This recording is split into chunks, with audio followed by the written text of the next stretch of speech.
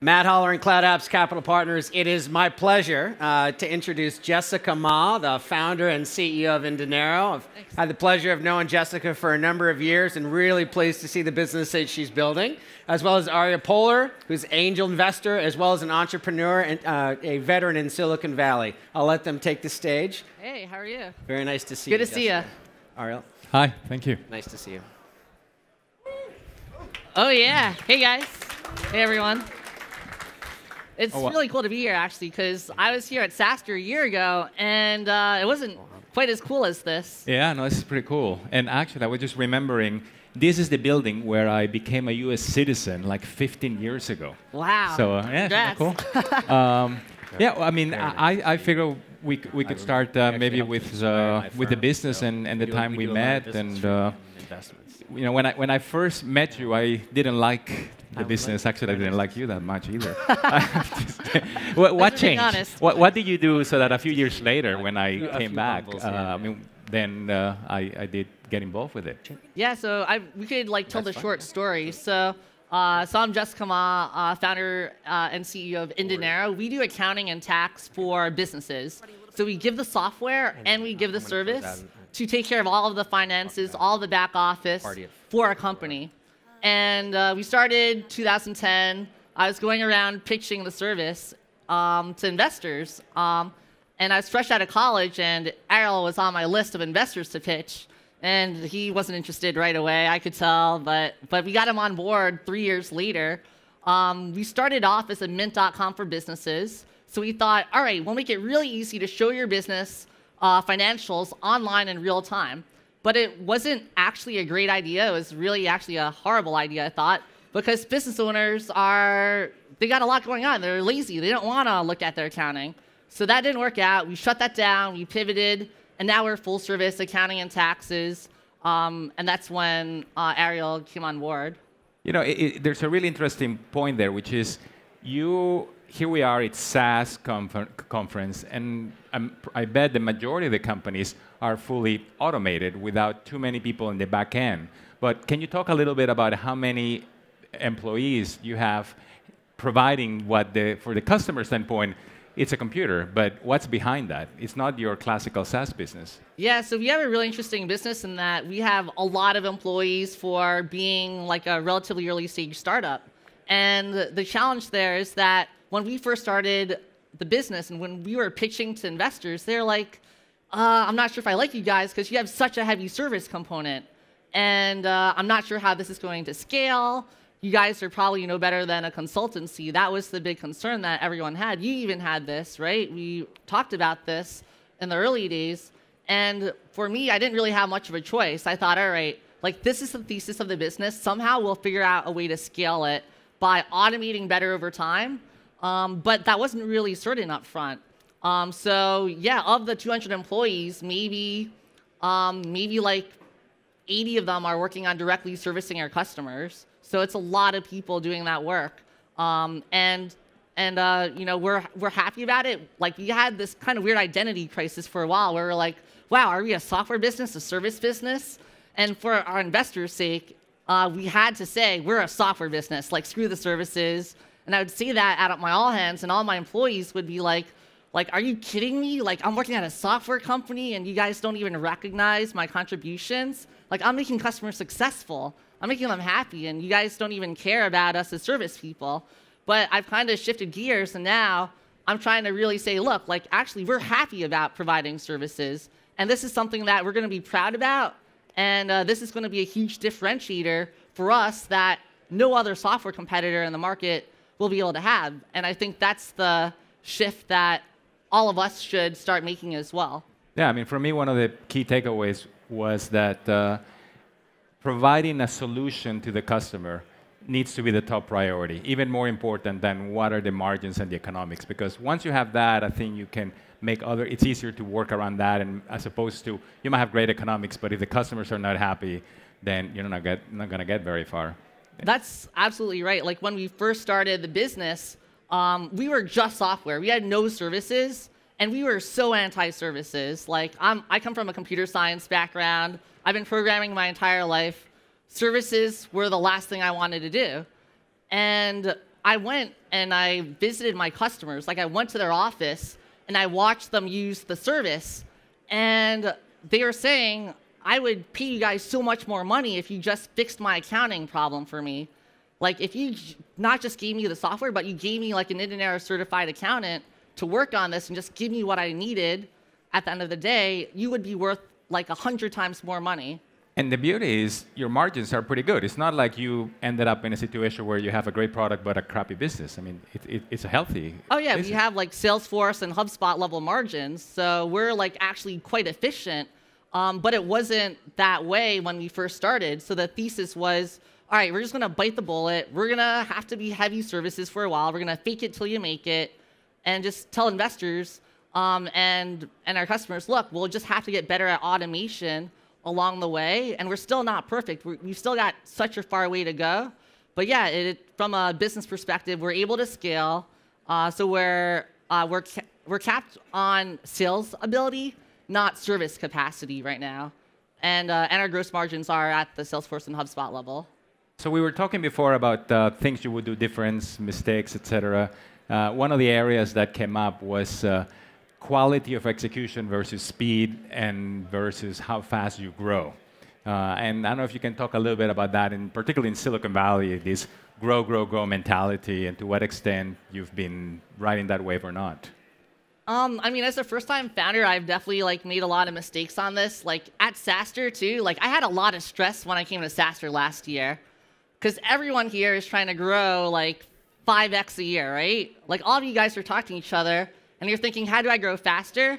And I remember feeling like really uh, incompetent. I felt like I was not going fast enough after the last SaaStr. That's how I felt because everyone else was killing it, right? And crushing um, it. Everyone was crushing it. and uh, I certainly wasn't. I'm like 2x, 3x. I'd be happy with that. Um, and we talked recently at you know our last board meeting, and and the feedback that they gave was, well, why do you have to grow that much? Like, is it about the business or is it about like your ego? And I really thought about that over Christmas holiday, and you know, a lot of that was around like what I wanted, and um, and that's something that I think I still struggle with, and I think all of us probably struggle with here. There's just a lot of pressure to grow, and that's actually not great for the business because I was thinking only about sales and marketing. I wasn't as focused on improving my customer success, on improving my culture. I mean, 200 people, right? We really have to care about training and culture more than any of our SaaS peers because um, you know we're bringing on like dozens of people every single month to the company, and so now I've got like a full-time professor. All he does is facilitate training at my company, um, and, I've, and I've got like a small group of people who have to make sure that we have a great culture, and that's stuff that I wasn't thinking about um, as much even three months ago. So yeah. yeah. I mean, yeah, the, the, the, recruiting and culture, that, that's one of the areas that, uh, that, that you've mentioned has been where you've evolved the most. Uh, so, so I don't know, maybe you can talk about in the recruiting front. I mean, how, how, how has that changed, say, from, from a couple of years? Yeah, I feel like I've gotten way better at recruiting. I mean, when you hire so many people, I feel like the uh, our our experience is better, right? So we could look at candidates and just pick out the better people right away. And um, and we have seven full-time internal recruiters now. And that's something that I didn't do early on enough. Like we had like one full-time recruiter, but we were still always capped on how many people we could hire, right? That takes up all of our time as founders. That's the that, I mean, I've heard some people here say it takes up 50% of their time or more. And when we have good recruiters in place, they're doing a lot of the, the interviewing. They're doing all the sourcing. And, um, and what I started doing just in the past two quarters is now we're listing out here are the top criteria for the people we want. Here are the questions that we're going to use to evaluate them against. And then here are the projects we're going to make every sales rep go through. Like, we don't just interview a sales rep, we make them do mock phone calls. I've had them call like low quality leads to evaluate them. Same with customer success people. Um, I mean, we, in, we interview our engineers this way. Why don't we do this for salespeople and for customer success people? Um, so we're a lot more methodical about that now than we were six months ago, even. I mean, the, the other related point you, you were telling me about is in terms of uh, when you need to bring like upgrade the team. I don't know if that's the right uh, word, but when somebody's not scaling or you need to bring additional experience and making sure that uh, people get enough of a heads up, that there's planning around that as opposed to people being surprised.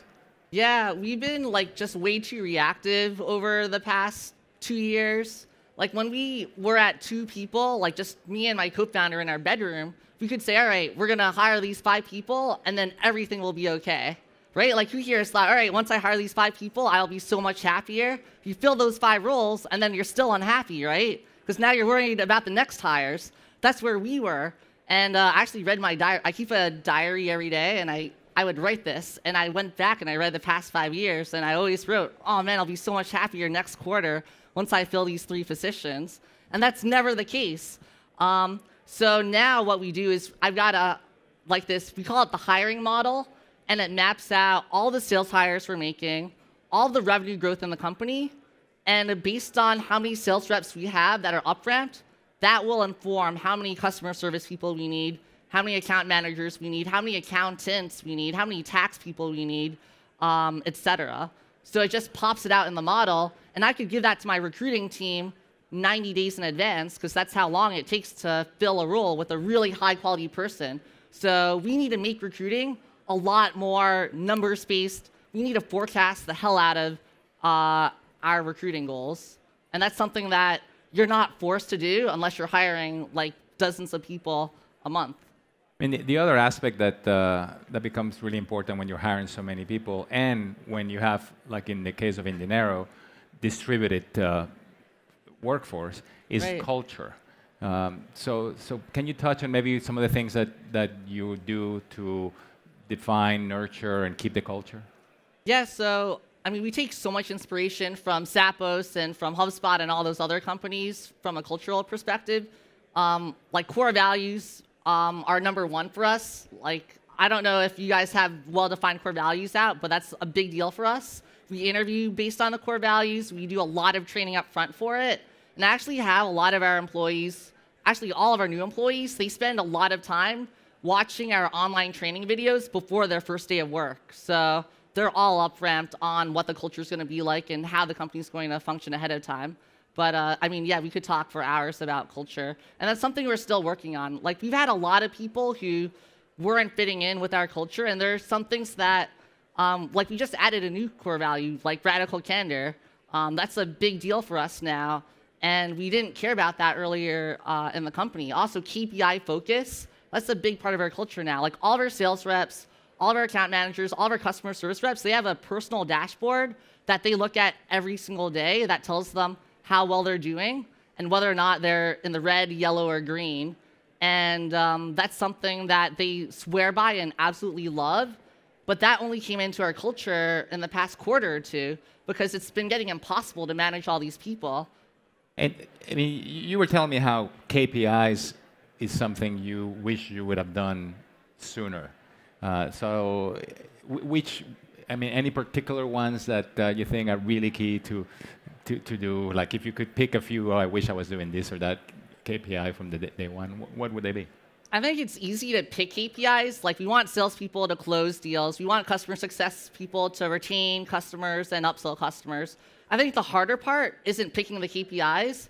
It's like it's having the habits in place to make sure that all of our people are looking at these KPIs every single day to make sure that they're motivated to make them better by tying their compensation to those KPIs, and um, and make, making that part of the team culture where we review that as a team every single week, every single month, and that's just those habits and rituals only came into the company when we crossed the like 130 employee mark. Yeah. So it's more the rituals that matter. By the way, we, will have question at the um, a little bit of time at the end for questions. But in the meantime, if anybody wants to chime in, a question, a comment, you know, I'll, I'll try to. It's hard because the lights are, but don't necessarily wait wait till the end. Um, the, what about um, you know, as an investor? Uh, I guess one, one thing I'm always interested in is uh, it, working with investors for you. Oh, wait, is that a question there? Yeah, go for it. Although I, I think um, maybe somebody can get a. Uh, it's always great when the audience participates and give us time. By the way, if any of you guys are raising money, call Ariel. He's one of my favorite investors that. ever. and you could tell him any of your dirty laundry, and he won't throw you out of the room. Go ahead. Go for it. Um, how did you know when to bring in your first in-house recruiter, and what were the key skills you were looking for in that first person? Um, I think I actually misfired on my first recruiter. So the question is when to bring in your first recruiter and what to look for in the first recruiter.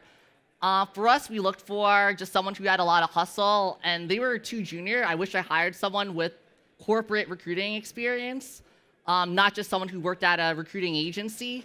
Because people, these recruiters go from agency to corporate, and you want someone who's already been in the corporate atmosphere for a while. So now all of our recruiters come from corporate uh, recruiting environments.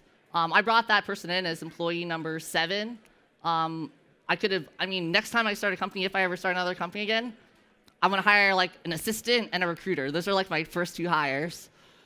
Yeah, no, I, I, I second that. Uh, what was that? Yeah, there you go. Hey, how you doing? Hey, Your employee base, are they all together or are they dispersed around? no, they're, uh, so the question is, are our employees all together or are they dispersed around? And they're dispersed around five different offices. So that means that it's way harder to get everyone to communicate effectively together. So, what are the challenges that you've been, the communication challenges that you've been having with dispersed teams, and what have you, what techniques have you adopted to help enhance that experience between the teams? Yeah, that's a good question. So, like, uh, again, like, how are we enhancing the communication across multiple offices? Um, I think that um, there are a few things. One, like, we do the conference calls where everyone's on the GoToMeeting and you see each other on the webcam. We do that um, team by team every week, so they all have that team feel. Uh, the Slack group channels or HipChat group channels help a lot with that. Um, so we don't have too much difficulty now. People are actually pretty happy with the collaboration, but we had multiple locations from a very like early phase of our company, and we had people working from home early on too. So we were used to that, and that was baked into our DNA. I mean, one thing I've seen is that when organizations have distributed people in multiple places and a significant enough percentage of the team is distributed, it's a lot easier than when almost the whole organization is in one place and then you have very few people remote because then Yeah. they feel more left out. So I tend to say go one extreme or the other, uh, but be careful about just having very few people because technology helps, but that, that makes it a little harder. Yeah, go ahead. Hi, uh, assuming the same product mix and the same markets you're going after now, how many employees will you have in 24 months from now? Um, that's a really good question. Probably north of 500. Um, and I really don't want that. We're really trying to trim down our our uh, need for more people and to make things more efficient. And there are so many ways to do that. Like I look at my model and I'm thinking, and I it pops out how many people I'm going to have at the end of each quarter. And you know, we talk about it and we think, ah, this is really not great because more people, more problems. Yeah. So, uh, how could we make it so that salespeople could sell uh, to fewer customers and get the same numbers? How could we make it so that customer service people could service more people, um, but it's still the same small team? is, yeah. Um, that's something. How could software automate more of these problems that customer service has to jump in on? Um, and I think we're getting a lot better at that. So at the rate we're going, it won't be 500. It'll be far less. But if we don't fix anything, we're going to have way too many people, and I'm not going to know what to do with myself. Although I, I, I tell you, I mean, the, the, managing a large organization well is a competitive advantage. I mean, one of the reasons I was comfortable with the inDinero model is I'm on the board of a company called Freedom Financial, which already has a thousand employees, but it's they well manage. and replicating that it's not easy. So I'm, I don't think it's necessarily a bad thing if they're efficiently run and, and there's a good reason. It's not they are there for a, for a bad reason. Is there is there someone there? Great question, though. Oh, yeah. Hey, um, for Hey. the individual dashboard, um, for customer success, what's the number one metric that you track on a daily basis? And for an engineer or developer, what's the number one metric they track every day? Okay, so what are the uh, numbers that customer success tracks? And then what are the numbers that product slash engineering team track? So on customer success team, we care about customer satisfaction. So we've got green, yellow, red, and then what I think is the worst num- the worst color, which is blue. Blue just means we don't know how happy a customer is, and that number resets every 35 days. So if you don't touch the customer in 35 days as a customer success manager, then it's going to turn blue. Um, and that's something that we didn't do early on enough. We really sucked at that. And um, but then also uh, account management, we pay them uh, 25 percent of their uh, overall pay is commission, and that's based on the premise that they're upselling more customers than they're churning out. So if we don't have 100% net revenue retention, account management gets none of their bonus, none of their commission. Um, and I think that really aligns everyone really well. And on the product team, it's just like product engagement and how well people are using a certain feature that that engineer is building. So I was going to ask you, um, you have a lot of investors, and uh, what uh, what has worked well for you to get value out of, out of investors? You know, for those in the audience who have uh, investors. Yeah, so we have like probably over a hundred different investors. Uh, we did the massive party round, uh, and I remember back in 2010 and 11, all the advice given was no party rounds, just pick like two VCs and like call it the day, right? That was the advice. But for us, or for me, I don't really care what the prevailing wisdom is. I like to just kind of think about it myself and decide what's best for me. And for inDinero, we kind of thought that we wanted to have a wide variety of mentors because I couldn't tell who would be the most helpful. Like when we started working together, I had no idea if you'd be the most helpful person or someone I wouldn't talk to more than once a year. And um, so by having the party model, that helps a first-time entrepreneur better understand what they want. Um, so but how do we get value from it, right? And at the end of the day, out of those large number of investors, you end up leveraging a small percentage, but that, that's okay because you found the ones that work. Is that part of the, the yeah thinking? that's completely right. I think we only really talk closely with five of those 100 plus people and then those people i might text or call depending on what kind of problem i have. So you know with ariel sometimes i'll just text him randomly hey do you have 10 minutes today to talk about a problem? And um, so that's kind of my way of working with people.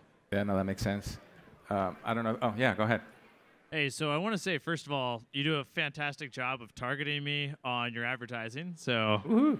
all right, that's good. Yeah. Uh, I don't. Why really... haven't you signed up though? Uh, hey, that's a great question. Um, one of the things that okay, I, I, don't really understand how how your organization's structured sure. because I'm not inside your organization. Um, obviously, the conversation started off earlier about you know kind of professional services revenue and, and, and the scalability of that and, and how does that affect margins which you know i think traditionally people think about professional services revenue as supporting you know higher margin part of the business. Yep. Now, Tomasz Tunguz talks about, and I think he's going to be speaking at this conference, but what he talks about on his blog is this idea of pod scaling, kind of reducing that exponential growth to sort of linear growth, where you think about what fractional number of sales, client success, implementation, et cetera, does it take to stand up a new client? I'm, I'm kind of wondering how have you scaled and, and kind of do you think in, in terms of that do you have a different framework for thinking? How do you scale your organization and, and, and, and make sure that it stays balanced? Because that's an incredibly challenging problem. Yeah that's a really good question. So tom is a vc at redpoint and he's got a phenomenal blog. You should all read it. And i've been following his stuff for for the past five years. I love his material. And we basically copied that. We said all right here is a pod a bucket of say 200 of our customers. And for 200 customers, how many account managers and customer service people and other onboarding implementation specialists are we going to need in order to provide work for those uh, clients? And that also gets popped out of our hiring model. I know how many sales reps I'm going to hire. Based on that, I'm going to get X customers, which means Y number of uh, employees. So that's exactly how we do it. There are ratios, and the goal for a company like us where we have high headcount needs is how do we reduce that requirement to have so many people? Um, and we're looking at that basically every single month. Like we have like after uh, tomorrow, like we're just going to talk for an hour and a half on how we're going to be able to trim down our efficiency better. Um, so it's still an ongoing challenge. Uh, great question though. I think there's a question right there. Jessica, um, when you were going from 2010 to, I, th- I started reading about you, I think in late 2013, 2014, when you started blowing up. Like, wh- I read about your friend having problems with co-founders and all Uh-huh. of these issues. What do Uh-huh. you think, like, attributed like your PR to your PR success? Because I mean, the problem that you're solving isn't exactly like the most exciting problem to solve. what what Really? why do you think you, you saw so much success in, in the media? Yeah, well, first of all, I actually think of accounting and tax and financial management as being really compelling. Like, I think it's actually really interesting stuff. So I think that's the first part. And all of us could look our, at our businesses and think, oh man, this is so boring and dull, but it's actually way cooler than that. Um, two, uh, I have a great PR guy who helps me out. Um, so a lot of props to him. And when looking for PR firms, I looked at a bunch of PR firms where you pay a lot of money, and then I evaluated a lot of PR freelancers and contractors. So, like a solo person who would work basically only for me, and they weren't working for some big PR corporation. So, I think that's the key difference. So, I talked to my PR guy. Um, I talked to him every week for over a year, and that's what led up to some of our biggest hit stories. Like the Inc. magazine cover, that was, he and I were working on that story for a year, and no reporter would pick up that, that story. Like we pitched Inc. magazine on it, none of the reporters liked it, and then one day the president of Inc. magazine calls and says, "We want you on the cover." So like, how do you go from that, from no results to cover? Like that, that's just a lot of persistence and talking to your PR guy every single week to come up with uh, refining your story. So for that story, uh, you mentioned co-founder problems my co-founder and I actually don't have problems. We're really best. Fr- we're best friends, and we, we live together. We're not romantic, but we live together. We're really good friends. And the story talked about uh, marriage counseling, um, and we'd been to marriage counseling like once or twice. But then they loved the story so much, um, so we, you know, went and got more marriage counseling. So we had more substance. So, so Jessica, I'm curious. So the great PR, what has it helped with the most? Is it about customers? Is it about recruiting? Is it about fundraising? Because in Silicon Valley, it's often not about the customers. I'm, I'm, what, what has it been the case for inDinero? Uh, for us, PR is really good for recruiting and hiring. Like I thought it helped with customers a lot in the early days, and it still is helpful helpful from a sales perspective. But it just brings talent in. That's really the best thing yeah, I think. Yeah, that's been that's been my experience as well. Yeah. Um, the is, is that a question there? No? No, go ahead. Go ahead.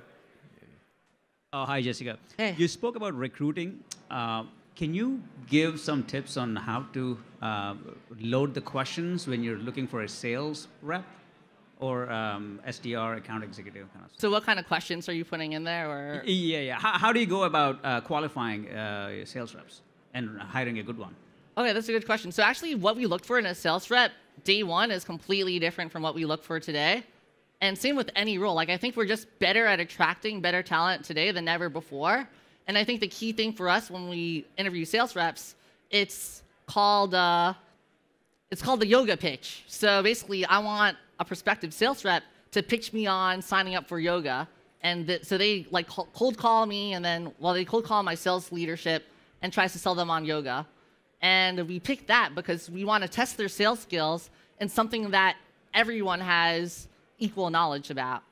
I don't want them to pitch me on inDinero because I know where they're going wrong. I don't want them to pitch me on their own product because anyone could pitch me on what they already know. So that's the key thing, and then we have a long list. I could send it to you if you ask me later. Um, so I think we're out of time, but I'm wondering if there's any last thing. We've spoken about uh, a lot of uh, things in the past, but forward-looking, what are you most excited about uh, going forward? Yeah, sure. Um, I'll stay around in case you guys have more questions, but um, I'm, I'm really excited about just learning how to continue growing in the company. And as we like double and triple and quadruple our headcount, um, there are just so many more problems that come up that I'm forced to deal with now that um, I think it's actually kind of exciting. So yeah, it looks like it's a pain in the ass, and it is a pain in the ass, but I love it anyway. Well, I I mean, that's the thing that I really enjoy about working with you. I mean, this is a challenging business, lots of, but you you seem to enjoy it. Yeah. So that's the way to do it. Thank you. All right, I think we're out of time, so thank you all. Thanks for the questions. Thanks. All right.